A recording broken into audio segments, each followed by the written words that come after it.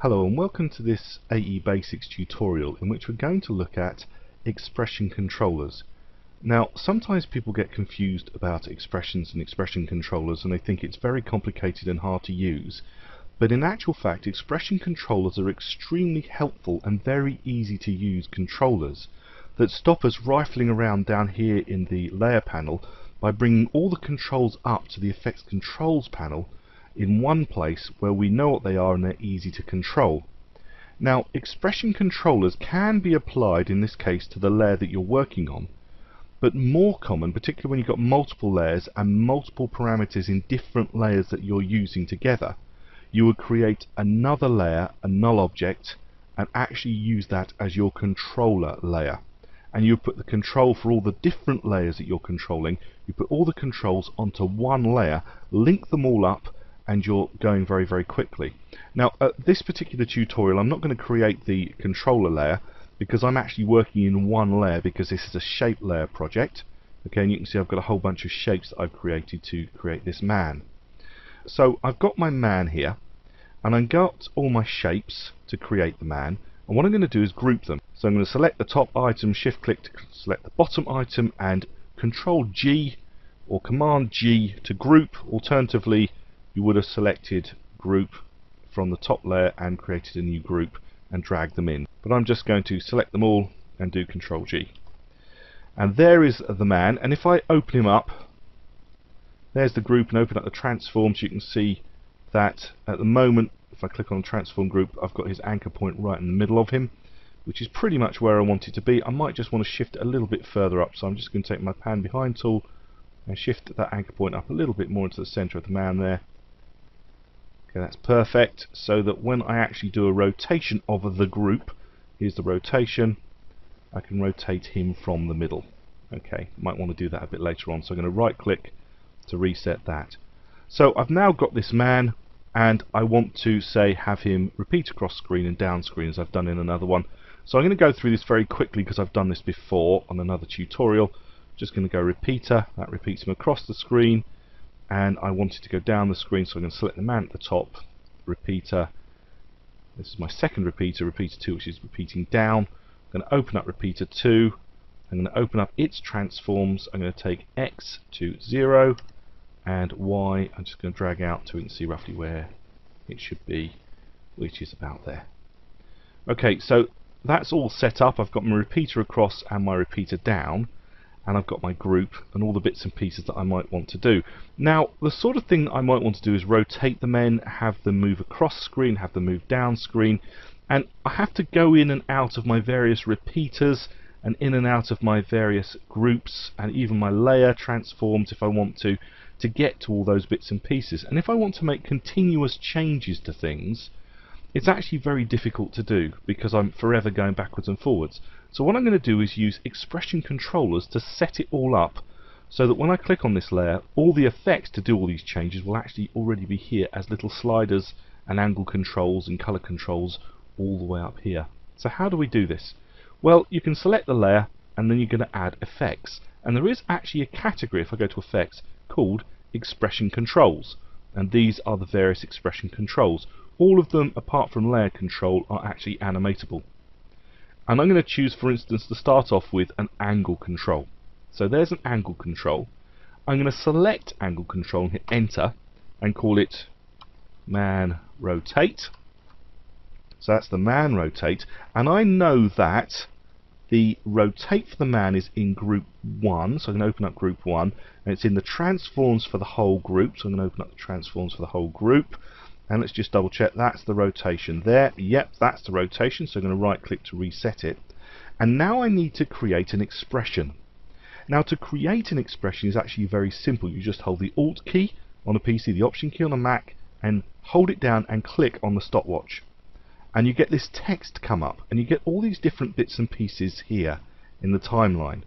This is saying that the expression is enabled. This allows you to show it in a graph editor.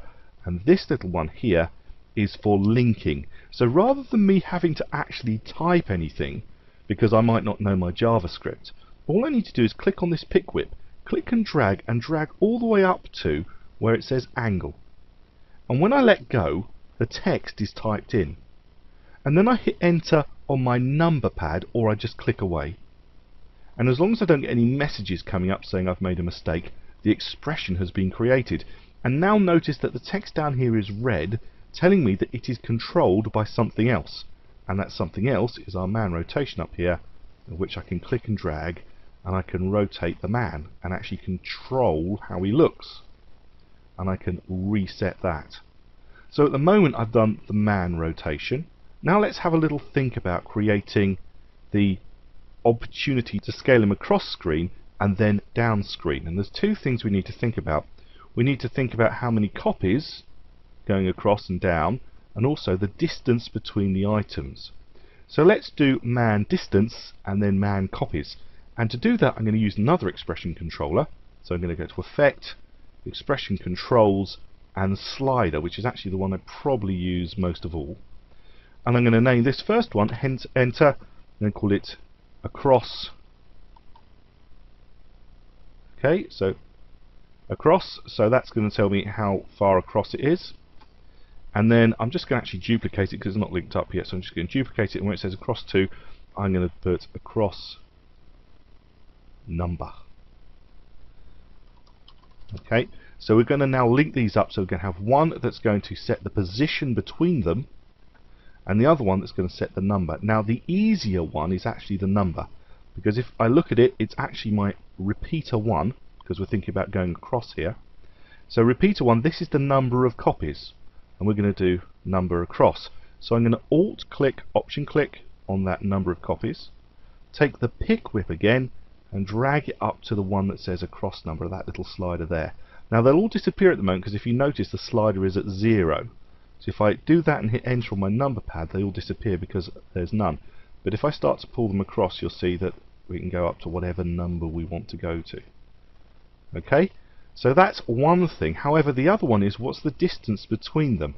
And the reason that this is more complicated, if I open up the transforms for this first repeater, which is the one that goes across, open up the transforms, you'll see that there's two properties for position. X, which is the one we want to control, and y which we don't want to change from 0 because that would move things down. So if I actually move this y you'll see that we start getting these sloping effects. Well you can do that if you want to but that's not actually what we're aiming to do in this particular one. So I'm just going to control Z to undo that. So I'm only interested in animating the one thing and that's what this across slide is about. So this is how we do it. Again I'm going to alt click on position and I'm going to then do something which is called create an array and that means I'm going to separate what happens to x and y and to separate them out into two separate things you have to do an open square bracket. So open square bracket saying that I'm going to separate the first dimension from the second dimension. And then I can add this pick whip to decide which dimension does what. So simply take that pick whip up to the across slider, so this slider under the word across and let go, it types it all in for me. Now this is important, comma, separate the dimensions with a comma. Okay, so at the moment I've said open square bracket, x must be controlled by this slider. However, y, I want to stay as is. I don't want it to be changed in any other way. I want it just to stay as it is. How do I control that? I take the pick whip and I actually drag it up to the Y value, the second value. And when I'm over the Y value and I let go, it types in the default transform position. And then I hit the square brackets to close off my array. So, square brackets saying I'm splitting up X and Y. And then for X, I've dragged the pick whip up to the slider to control it.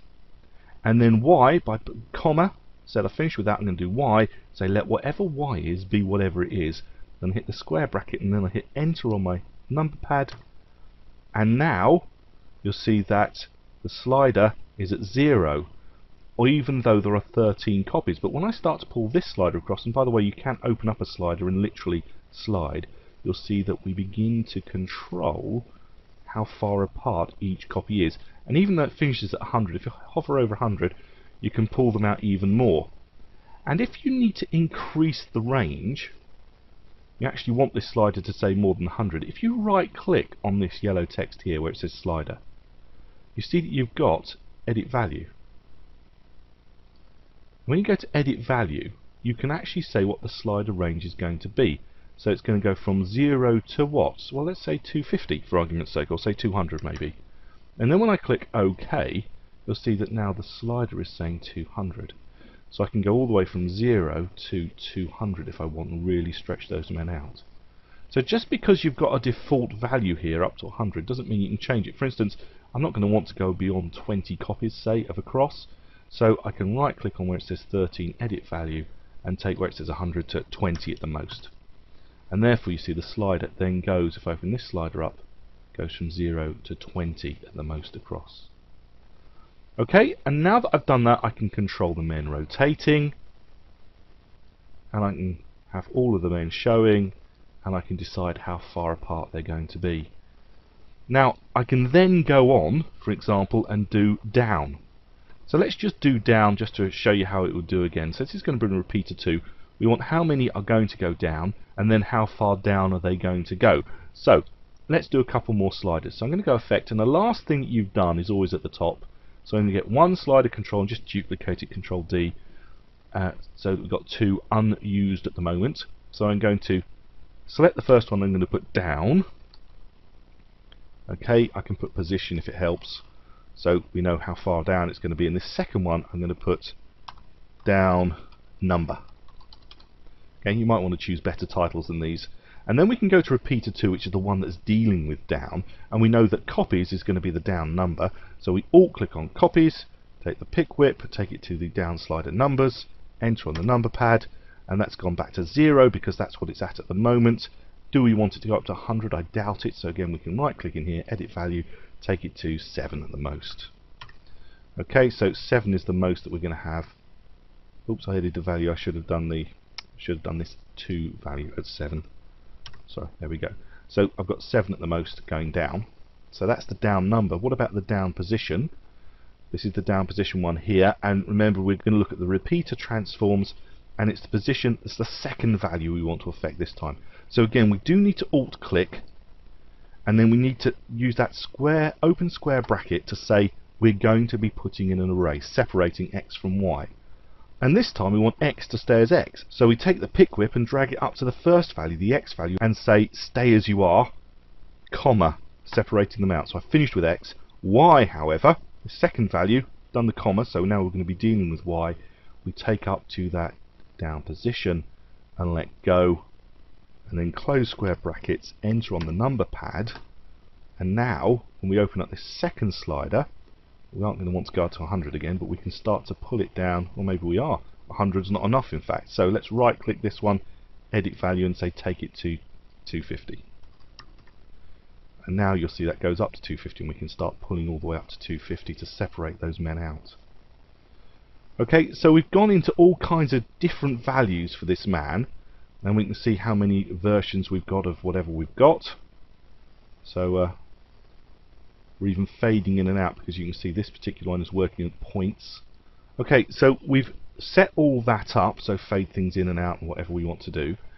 What we might want to do now is think about adding some expression controllers for color and or layer.